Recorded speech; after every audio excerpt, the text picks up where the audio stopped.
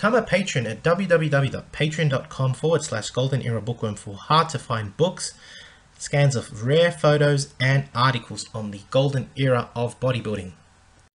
Hi everybody, Golden Era Bookworm here, and in today's video we continue with the Marvin Eder interview series and listen to Marvin as I interview him about his earliest training methods. I have read many articles on Marvin's early training and listen to the few interviews that exist out there on his earliest training methods because admittedly it is these early methods of training of the silver era legends such as Marvin Eder that really interest me and I also think it interests a lot of people. What was Marvin's foundation training like? I think this is one of the most important things to understand when trying to emulate these silver era legends. You know, just what did Marvin do early on in his career to develop what many consider to be superhuman Herculean strength? What was his secret? How did he start off? And can we possibly emulate this, this process which he undertook at such an early age? As far as I know, Marvin would perform mainly chins and dips in the park, and then ended up somehow training in Abe Goldberg's gym. But to me, when I've heard this in interviews and read this in uh, you know in magazine articles, this just sounded so oversimplified. So I decided to inquire more about his foundation training in this interview. Enjoy. You mentioned that at the age of 14 or 15 you started uh, weightlifting and training. Um, did you start off with bodybuilding or with weightlifting or with gymnastics? I mean, what was your, your training like very early on? Well, I did a little of everything. I remember I was able to do wide arm chins, 80 wide arm chins. Can, I was able to consecutively? yes, Wow. I was able. Let's see, what else? Oh, yes. One arm chins at a body weight of 198 pounds.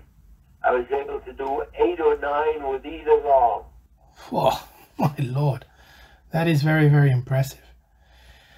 Yeah. Very impressive. Oh, I, I, it felt good. I enjoyed doing it. And I loved working out. I also had a, a lot of endurance. I was able to do 500 parallel bar dip, dips in 10 minutes. Oh my goodness. That is very, very, uh, I mean, I don't know if anybody, even to this day, can match such feats. It's just, you seem to have both muscular endurance, endurance and incredible, uh, yeah, muscular strength and power for single lifts, as I said, and, and as well as for high repetition work.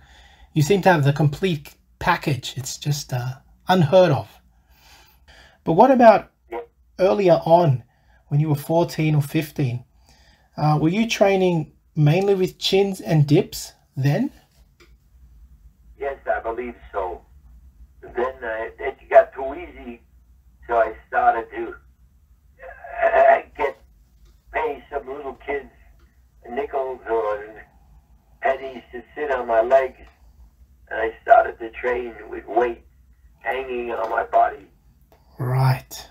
After doing that, So that's how you started I the weighted the weighted dips and weighted chins with just small children. yes, Wow. yes, I remember that.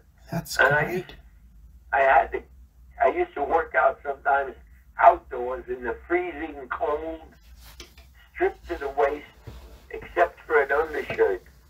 you know, of course, uh, I wore pants, but I was able to work out in the cold.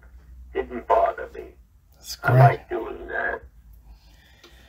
That's I great. had- So plenty of surgeons. go on, I sir. had. I don't even want to talk about them. I survived them. You, you mentioned you've you were training outdoors with uh, small children hanging off you. Um, was this in the park and stuff like that? In the park or at home? Yes, it was in a playground outdoors. Right. Okay. And um, did you then progress from training outdoors. Uh, did you train at home at all, or did you progress to training in gyms after that? Yeah, I didn't have any equipment to train at home.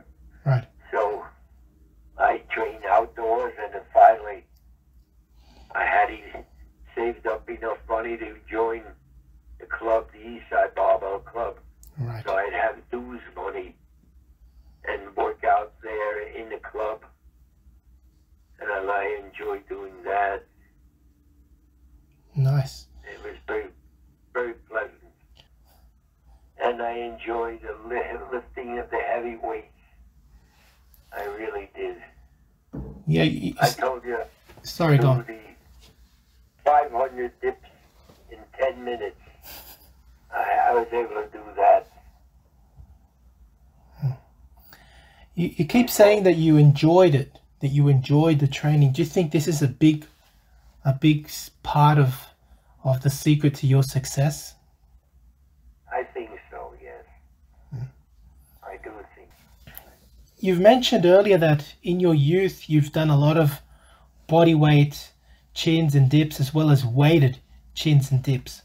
But how did you continue to progress on your chins and dips? Um, and what I mean by that is, you know, what were your reps and sets like, especially when you did weighted dips and chins, and how did you go up in weight on that? Well, I guess it was what I felt like doing particular day. That that's how it worked out. You make it sound so unscientific. You, you basically just f- felt like training hard and you just did. Is that it? Yes, I guess that's that was that's it. Wow. That was the Wow. I mean, I really enjoyed this interview with Marvin and listening to this interview with Marvin again, and I have several times. I just continue to learn so much from just picking up all these little things that he says. And I will admit that there is so much to learn and apply from what may seem such a simplistic yet very, very effective approach. As we have learned from Marvin's own words, Marvin's earliest training methods were not as simple as just performing a few occasional sets of chins and dips in the park. Instead, Marvin took this initial training very seriously and focused on the development of muscular endurance and power through the performance of bodyweight exercise. Just it's just simple chins and dips. It's incredible. This is very similar though, if you really start thinking about it, to the start of many bodybuilders back in the golden era. I mean, you can you can name almost all of them, almost all of them. Like Arnold's a perfect example. They all started doing chins and dips in the park. That's how most people started doing the physical uh, culture, doing bodybuilding back in the day. And um, yeah, I mean, I find his his abilities in both strength and endurance on the chinning and on the dipping rather incredible. Marvin states that he could perform 80 wide grip chins consecutively. That is non-stop. I dare anybody to be able to do that. Not just medium grip, wide grip. That is what I call both muscular strength and endurance. He could perform close to 10 one arm chin ups with either arm. Now that takes incredible muscle, tendon, and ligament strength. He mentioned that he could perform 500 dips in 10 minutes. I mean, the wows, it just keeps wowing me. It's incredible. That is incredible muscular endurance, and he was able to break Jack LaLanne's record, I believe, as well, uh, once doing a thousand dips in 17 minutes. The man had incredible muscular endurance. He, his joints were just so strong. It's it's it's it just marvels me every time. Leaves me almost speechless. What I find really interesting, though, is the form of progression that Marvin undertook to develop both, and I repeat, he developed both muscular endurance and strength using the chin up and dip.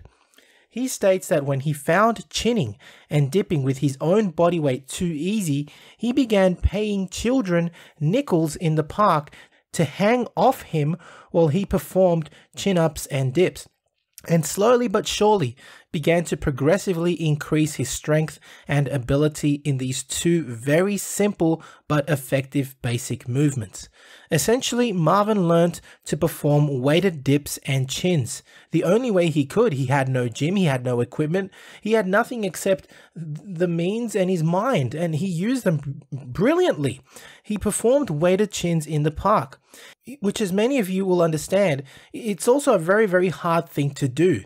In my conversations, uh, with with Marvin, he has told me that he would have initially, for example, one child hanging off him, weighing about 50 pounds, and later he would progress to having two children, so a total of 100 pounds, and eventually be able to perform sets of high repetitions with two kids hanging off him. That's just a very simple but effective form of progressive resistance training using your own body weight and eventually the, the body weight of other people. It's just a really intelligent way of getting strong using such primal motions such as the chin up and the dip. It's as primal as the squat. And many people will state that the push up or the chin up or both or, or, or the dip, all of these basic calisthenic movements, these basic body weight exercises are as primal as the squat and therefore much can be gained in your own body through strength and endurance of, of practicing these particular movements.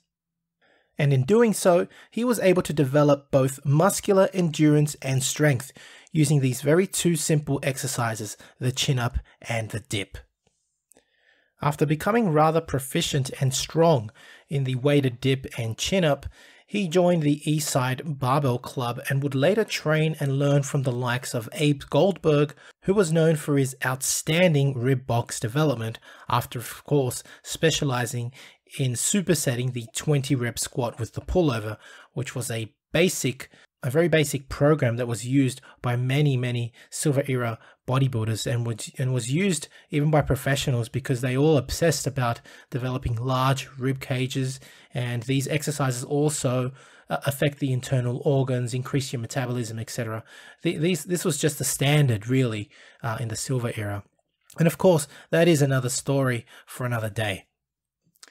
Now, if you're interested in reading and learning more about how Marvin Eder developed his Herculean strength and endurance, then please head to my website www.goldenerabookworm.com where you'll find a new ebook detailing his early training methods which endowed him with both muscular strength and endurance that he was so well known for. The ebook is also part biography based on the interviews I've had with him and will be the first of several ebooks covering the different aspects of Marvin Eder's training, all available on my website www.goldenerabookworm.com. So I do hope you have enjoyed this second video on the Marvin Eder interview series, which focused today on Marvin Eder's early training and how he developed the muscular endurance and strength in dipping and chinning as he was well known for. I will be following this video up soon with Marvin's views on the mind-muscle connection, his recollections of training during the silver era with the likes of Reg Park, his opinion on steroid use, and much, much more, so stay tuned. If you have enjoyed this video, please give the video a like and subscribe to this channel if you haven't done so for more content like this.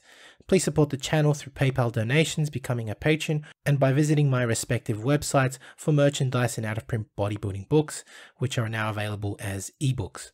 Hope you have enjoyed the video. This is the Golden Era Bookworm saying bye for now. To take full advantage of my collaboration with Old School Labs, please visit their website and choose from their marvelous range of supplements using my code BOOKWORM12. And for an entertaining look at the history of bodybuilding's supplement industry, I would highly recommend watching Supps the Movie, which I have collaborated in, available at Amazon Prime and Vimeo.